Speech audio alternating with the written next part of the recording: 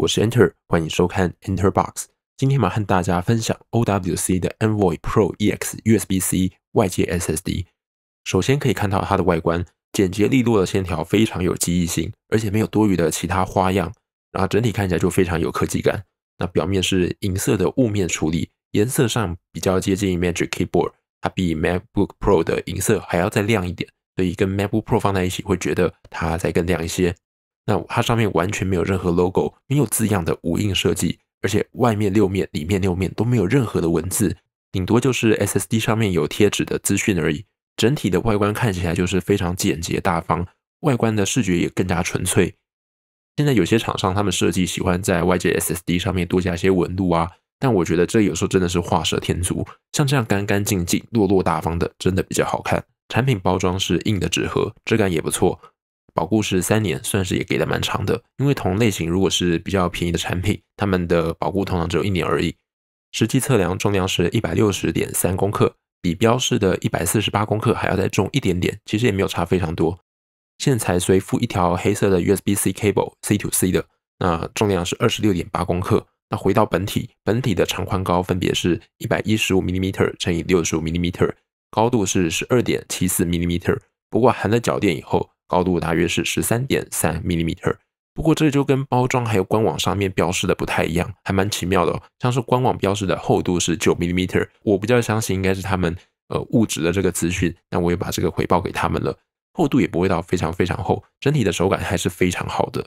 接着我想特别聊一下灯光，它的灯光是长条形的蓝色，看起来就很有科技感，跟它的外观一样非常搭配。此外，很多就算是高单价的外接盒。它的外壳都可能会直接开个洞，让 LED 的灯光透出来。那有时候这个灯光就会过于集中，就会觉得有点刺眼。那 OWC 的外接盒呢？它同时顾虑到了防水防尘，所以不能直接挖孔，而是用塑胶导光片，让光源分散在一个长条线上面，那看起来就不会这么刺眼，亮度也非常的适中优雅。不过，呃，我原本看官网和说明书，我发现有一些图片好像是白色的，然后我目前用到现在，我完全没有遇到它有亮白色。然后我拆开了以后也没有发现里面有白色的 LED，实际上就是亮蓝光，所以好像图片跟实际看到也有点不太一样，有点小意外。不过整体来讲，我觉得这个光条在设计中绝对有做到画龙点睛的效果，真的非常棒。在外观方面，你可以听出来我对这个外接盒真的是非常挑剔，但是我还是觉得这是一个非常棒的设计跟外观。那如果说整个配件上真的有什么让我觉得要改进的，可能就是这个 USB 线吧。虽然它给的线应该品质真的是不错。但是我觉得，既然都卖到快两千块的外接盒，这个传输线希望外观是可以好看一点的，这样整体搭配起来，哇，更加分，整个沉浸感会更好。那讲到沉浸感，我觉得延续前面提到的设计，外观设计我非常满意。然后还有哦，这个手感真的非常棒，非常沉，非常扎实的在你手上，很有分量感。所以整个 SSD 的体验真的非常好，绝对是目前玩过的 M.2 SSD 外接盒的前三名。那底部呢也有两条指滑脚垫，也是我比较喜欢的设计。除了这样放在桌上不会跟桌面直接刮到，导导致呃金属壳表面可能会有些刮痕，有指滑脚垫就不会有这问题。而且呢，它顺便也遮住了螺丝，所以你从外观完全是看不到任何螺丝的痕迹。那这样设计的缺点当然就是要拆装的话会比较麻烦啦。不过我觉得如果你要拆装很方便的话，是可以找其他更适合的 SSD。但我想要用 OWC Envoy Pro EX USB-C。这个外接的 SSD 就是很喜欢它优雅的外观，所以我就不会想要每天或是每个礼拜去拆它这样子。对我来讲，真的不是什么问题。拆开后可以发现，这个壳是实心的，不是一般的薄壳，所以散热效果理论上会比较好。当然，最直观的就是拿起来非常有分量感，很有存在感。而且呢，它外壳也有做 EMI，像是壳内侧这边颜色不一样的这个矩形区域，就是因为它没有做阳极处理，这样才能让 USB-C 上面的导电泡棉跟外壳接触。做到 EMI 的效果，由此可以看出 OWC 的工业设计真的是非常厉害，连这种小细节都考虑得很周到。不管从功能面，或是到产品的外观、产品的整个系列的设计，都非常的有科技感，非常的有一致性。而这个外接盒很重要的功能就是它有防水防尘，达到 IP 六七。IP 六七就是可以让你达到在一公尺水深的深度可以保持三十分钟。目前市面上有做防水防尘的外接 SSD 不多，选择性其实蛮少的。那如果呃 OWC 这一颗你真的不幸掉到水中，我建议你也不要因为它有防水你就马上插上哦，建议还是要把 USB-C 的接口的水清干净，确定里面没没有水了，然后最好也把它拆开来，确定里面是安全没有进水的。然后你最好也先备份一下，再来试试看。至于这次的防水测试，我是不敢试啊。如果之后真的不幸掉到水中，我再向大家报告这个结果好了。但是可以看到呢，它底部真的有一整圈的防水胶圈，在 USB-C 的接口的地方旁边有一整圈的防水胶圈。那底部在盖上盖子的时候，转螺丝在最后几圈的时候，要比一般的螺丝还要再更锁紧一点点，要达到让底盖跟机身齐平，才会有这个防水的效果。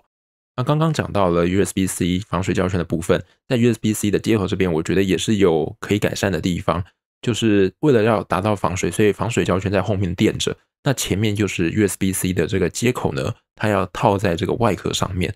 不过套在外壳上的时候，就会导致外壳的这一圈是比那个 USB-C 的外壳还要再厚一点，所以导致 USB-C 的线接上去的时候，上下跟壳之间还会有不小的缝隙。那我大概用游标卡尺呃量了一下，上下的差距大概还多了一 millimeter 的空隙，所以就是说大概上下都还有零点五 millimeter。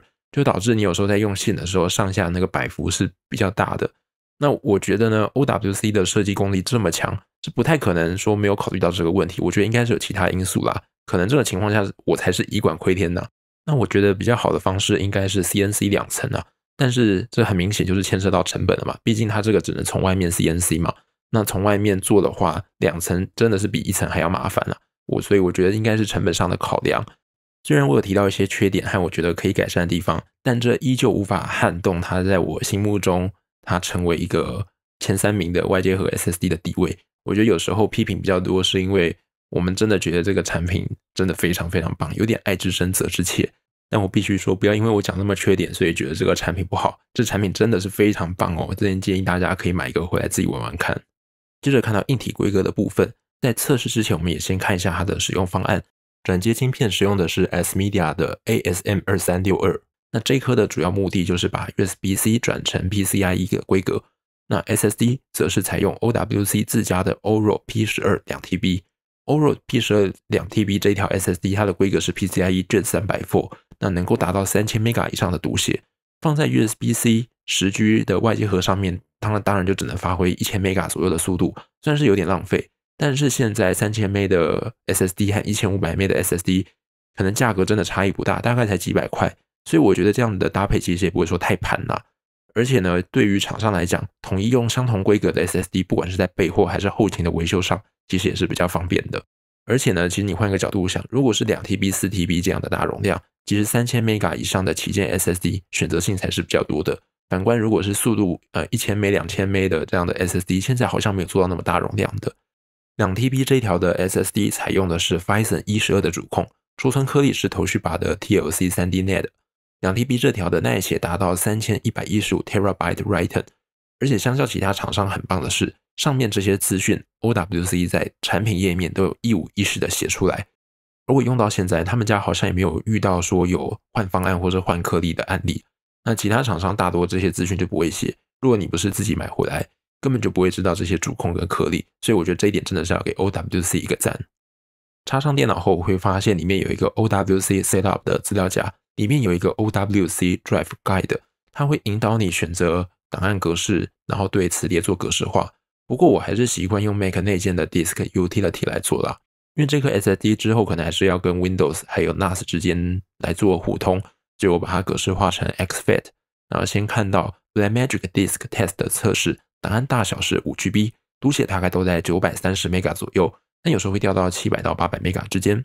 而以 Asia System Test 测试，档案大小四 GB，写入速度稳定在八百五十 Mega 到九百 Mega 之间，读取速度同样在九百三十 Mega 左右。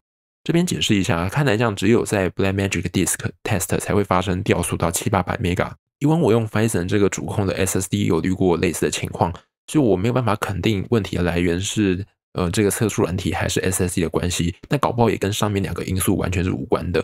总之呢，如果是平常传输资料，目前我也没有发现这样的问题。我想大家在使用上应该是不用过于在意这一点啦。那长时间读写，我目前也没有发现有严重的掉速或是过热的问题，这方面大家都可以放心。